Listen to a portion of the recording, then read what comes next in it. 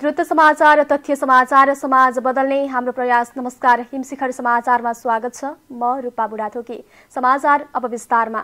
राष्ट्रिय सभाको बैठक आज दिउँसो एक बजे बस्ने भएको छ। संघीय संसद भवन नयाँ बानेश्वरमा बस्ने बैठकमा विनियोजन विधेयक माथिको छलफल हुने कार्यसूची रहेको छ।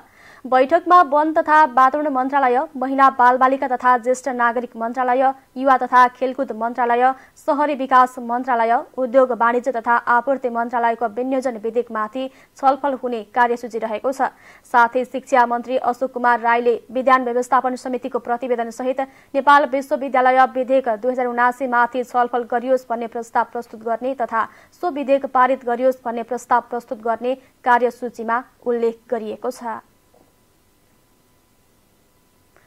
कोशी प्रदेशमा नयाँ सरकार गठनको कसरत सुरु भएको छ। कोशी प्रदेश प्रमुख परशुराम खापुङले सरकार गठनका लागि आह्वान गरेपछि दलहरू आफ्नै नेतृत्वमा सरकार गठन गर्ने गरी कसरतमा जुटेका हुन्। प्रदेश प्रमुख खापुङले संविधानको धारा एक सय अडसठीको उपधारा दुई बमोजिम दुई वा दुई भन्दा बढी दलको नेतृत्वमा सरकार गठनका लागि दावी पेश गर्न आउँदो एक्काइस गते बिहिबारसम्मको समय दिनुभएको छ।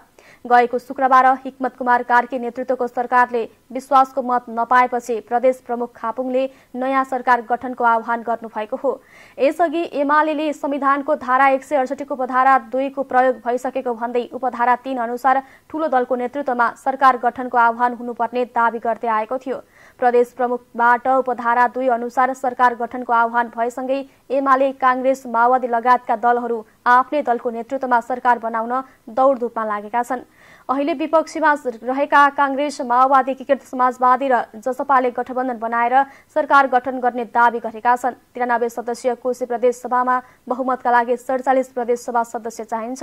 माओवादी केन्द्रबाट निर्वाचित भएर सभामुख हुनुभएका बाबुराम गौतमलाई नजोड्दा गठबन्धनसँग जम्मा छयालिस प्रदेश सभा सदस्य मात्रै हुन्छ। काङ्ग्रेसका उनातिस माओवादी केन्द्रका बाह्र एकीकृत समाजवादीका चार र जसपाका एकजना सांसद रहेका छन्। प्रदेश सभाको सबैभन्दा ठूलो दल एमालेसँग चालिस र राप्रपासँग छजना सांसद रहेका छन्। गठबन्धन दलले राप्रपालाई सहभागी गराएर नयाँ सरकार गठनको गृह कार्य थालेको छ। तर मुख्यमन्त्रीमा काङ्ग्रेस र माओवादीसँगै राप्रपाले पनि दावी गर्दै आएको छ। केन्द्रबाटै टुङ्गो लगाउन नेताहरूले दौडधुप बढाएका छन्। झापाको मेचिनगर नगरपालिका दसमा आज बिहान जंगली हात्तीको आक्रमणबाट एक वृद्धाको ज्यान गएको छ। हात्तीको आक्रमणबाट अस्सी वर्षीय पन्ना देवी शाहको ज्यान गएको हो। पूजा गर्न फुल टिप्न जाने क्रममा उहाँलाई हात्तीले कुल्चेर मारेको। वडा नम्बर दसका वडा अध्यक्ष नारायण खनालले बताउनु भएको छ। सिलगढी घर भएकी उहाँ एक वर्षदेखि छोरीको घरमा बस्दै आउनु भएको थियो। झापामा छ दिन अघि पनि जंगलमा च्याउ टिप्न जानुभएका हल्दीबारी गाउँपालिका दुईका त्रिपन्न वर्षीय गिरेन कर्माकारको हात्तीको आक्रमणबाट ज्यान गएको थियो।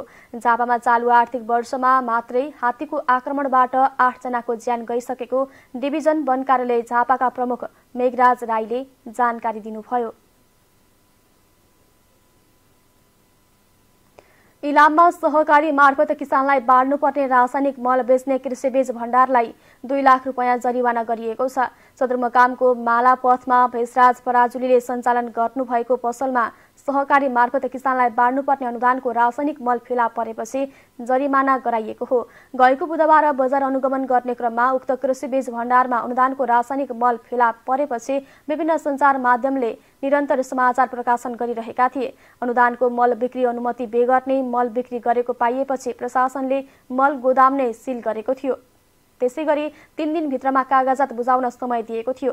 म्याद असार सत्रमा सकिँदासम्म पसलले मलको अधिकार आधिकारिकता बारे कुनै प्रमाण दिन नसकेपछि आइतबार जरिमाना सहित गोदाममा राखिएको मल जफत गराएको छ।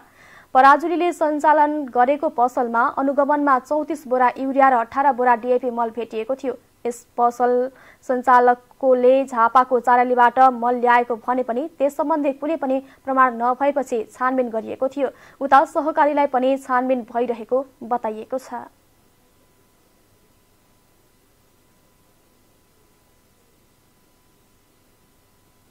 आज देशभरको मौसम आंशिकदेखि सामान्य बदलिरहने मौसमविदले बताएका छन्। मौसमविद गोविन्द झाका अनुसार आज दिउँसो कोशी र मध्य प्रदेशका एक दुई ठाउँमा ठूलो पानी पर्ने अनुमान गरिएको छ।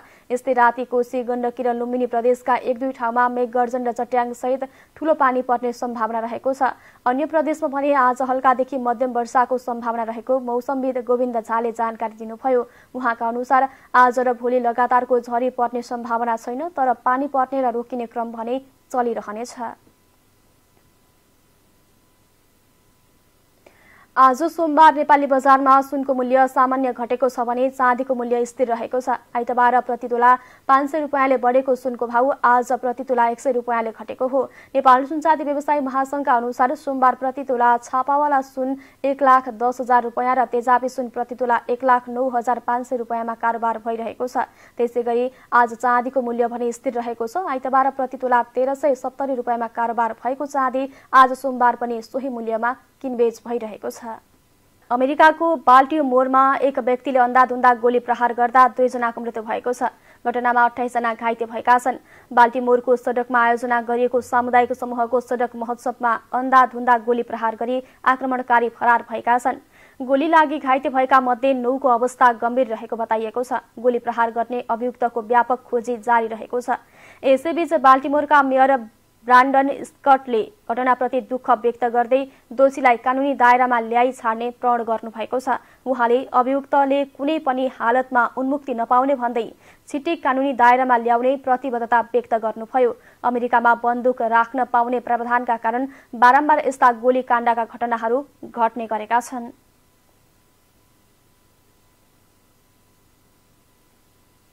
अब खेल समाचार।